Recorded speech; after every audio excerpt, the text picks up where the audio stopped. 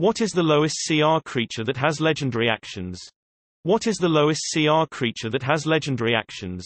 I'm open to answers referencing creatures from any officially published WOTC resources, including named NPCs in published adventures or DDAL Adventurers League.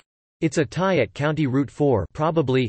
As of now, according to a search on D&D Beyond, there are two creatures tied for the lowest CR that have legendary actions and both are County Route 4. The Yestabrod from Out of the Abyss and the Thessalhydra from Hunt for the Thessalhydra.